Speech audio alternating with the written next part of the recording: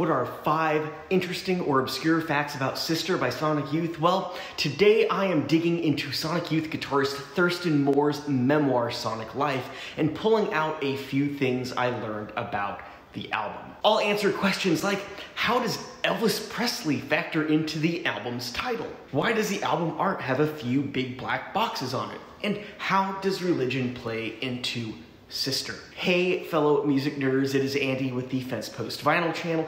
If you like this sort of content, go ahead and hit that subscribe button, then ring that little bell so you'll be notified when new videos go live. That said, always subject to change. New fun facts about albums you love videos go up every Sunday. Released in the latter half of October of 2023, Sonic Life is a compelling and lengthy memoir from the influential experimental guitarist from the band Sonic Youth, Thurston Moore. He recounts his life growing up in a small town before venturing into the New York City nightlife during the explosion of punk rock during the mid to late 1970s. Then he dives into the formation and tenure of Sonic Youth, including the various early live gigs, tours, and releases the band has given us over the past 40 plus years. It's a long one. I'm still making my way through it, and Sister is chapter 53. But it's a good read, or if you're like me, it's a great audiobook listen narrated by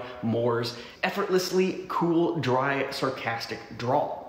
Rather than go into the band's career as a whole, I'm gonna hone in on the album that made me a true fan. It's their pre-teenage daydream release, Sister from 1987, and here are five fascinating things I learned about the album from Moore's memoir. Number one, the album name. There were a few early working titles of the album, including Kitty Magic, Humpy Pumpy, and Soul. There's also Heather Spinning, which he mentions in the memoir, but is not something that they note yet on Wikipedia. None of these really resonate with me personally, so I'm glad they went with Sister. And there's a story behind that. First, it's a tribute to German visual artist Gerhard Richter and his 1977 painting titled Betty of his then 10 year old, or maybe 11 year old daughter. Next, it's a reference to science fiction mastermind and author Philip K. Dick's fraternal twin who died within a few weeks of her birth. The mythos around his sister would kind of emanate throughout Dick's writing into all corners, and paired with the writer's cyberpunk plotlines, it seemed to fit what Sonic Youth was creating in the mid 80s. Finally, the dead twin theme ran rampant in these circles, with both Lydia Lunch and Nick Cave, both of whom spent a fair share of time with members of Sonic Youth in the mid 80s, claimed to have been born alongside one. Moore notes that these claims also gave nod to perhaps the most famous only surviving twin, Elvis Presley.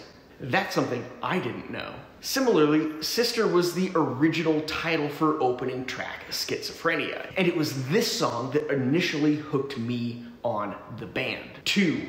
Warped Christian Ideology. Moore relates the lyrics found within Sister to be inspired by Philip K. Dick's more religious themes, but exploring his own take on Christian ideology, though these references are relatively subtle and layered in obscurity. This is due to him not wanting to kind of project those thoughts and feelings onto the other band members who might feel differently. Perhaps at its most blatant, the religiously thematic elements can be found in songs like I've Got a Catholic Block, White Cross, and maybe even, to a hint, Cotton Crown. Number three, fringe entertainment. Even as far back as the mid to late 1980s, there was a move away from analog recording. One studio that kind of eschewed this was Sear Sound in Midtown New York, run by Walter Sear and Roberta Findlay out of the Paramount Hotel. Sear Sound exclusively used audio tube equipment that emphasized a warm vintage sound. It was here that Sonic Youth recorded Sister to 16 track. Both Sear and Findlay had their fingers in entertainment, though certainly not the mainstream. Sear had strong ties to Robert Moog, eventually becoming Moog's business partner and sales agent for Moog's Theremin. According to Moore, it is Sear who could be credited to convincing Moog to add a keyboard to the original giant synthesizer, thus leading to the portable synthesizer that would soon come thereafter. Findlay, too, also worked in fringe films, and yes, that includes a stint doing some low budget adult ones. In production around the time Sonic Youth was recording its Sister was Findlay's 1987 album Blood Sister. The plot?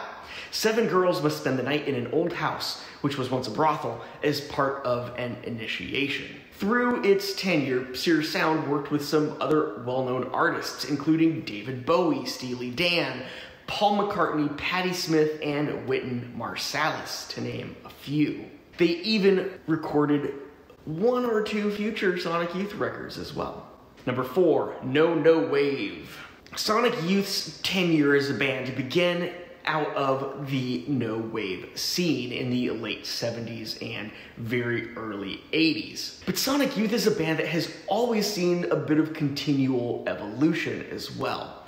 On Sister, the band moved further back from no wave and more into rock sensibilities, if you can call it that with more solidified song structures and formats, and that led them further away from the no wave origins you can hear on their earlier works. I mean, yesterday I was on a nice lengthy 32 mile bike ride and I listened to Sister and then I backed it up and listened to EVOL, and you can really see a lot of those differences come to fruition right here on this album. Still, Sister maintained a fair share of experimentation, exploration, and for sure, improvisation. These changes would continue in their time supporting the album, then pull in influence from the burgeoning hip hop scene using samples and sounds employed by artists like the Beastie Boys, Run DMC, and Public Enemy. Probably didn't see that one coming, did you? While these don't show up on Sister, they are a further example of a band that doesn't really get comfortable with any specific sound, always willing to push the boundaries of what's capable in their instrument and with music in general. Pulling in traces of minimalism, the band's origins from no wave, German drone rock, and electronic noise music, they would go on to create and record, leaning heavily into improvisation, what is probably their most heralded album released just 15 months after Sister. That being Daydream Nation. Number five. I've been excited about this one because I actually include some other stuff that's not from the memoir, at least not yet. Twice censored. The cover art on Sister, including the front and back of the record jacket, included a hodgepodge of pieces. One part collage, another part kind of mixed media. There are a few items in the artwork that copywriters had an issue with. The band pieced together artwork using postcards picked up while touring, among other things. For example, that toddler on the back sleeve is actually Lee Ranaldo's son. Moore laid out the piece on an LP sized area, and you can see a cross in the dead space on both sides of the sleeve. Though, flip it over, and the cross is inverted. First is the Disney image, rotated 90 degrees clockwise with kind of a Fibonacci sequence type spiral illustrated over it with a black permanent marker. The second is a photograph by Richard Avedon of a young girl, atop which the designer put a colorful array of splotches.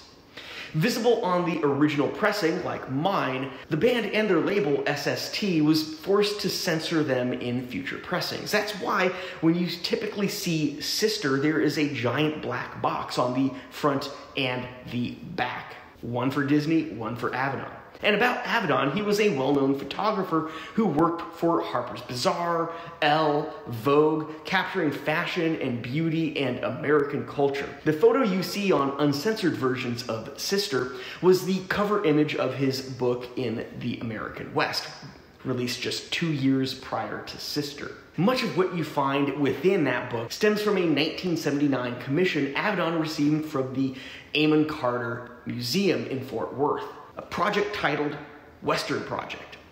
Not knowing the history of Sister's censored artwork, by happenstance, I visited Amon Carter Museum in Fort Worth back in about August, and I snapped this picture right here. This photo just struck me for its power, the, the raw, the unfiltered, the emotion, the hardship. Little did I know, it was actually Avedon's photograph titled Homer Emmons, coal miner, Somerset, Colorado, 82880. Before leaving the album artwork, I'll point out one more thing. Sonic Youth is typically depicted as this two standalone words, but here one side is scripted Sonic Youth. Flip it over, and Moore wrote The Sonic Youth. While the former was used on their 1983 album Confusion is Sex, the latter hasn't really been used anywhere else, at least that I've been able to find. I could be wrong on that one, so if you are familiar with one where they list themselves as The Sonic Youth, let us know in the comments below.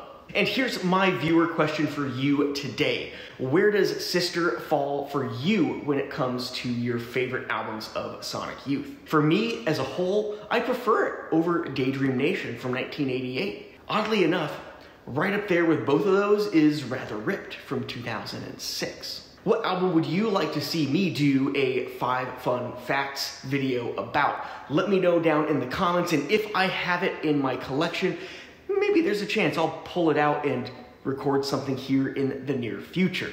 And next, check out this video right here where I dig into Pixie's phenomenal album, Doolittle. And this one down here where I actually look at the 1986 album, Walls Have Ears. That is a cool one for sure. I am Andy, this is the FensePost Vinyl channel, and I'll see you in the next video.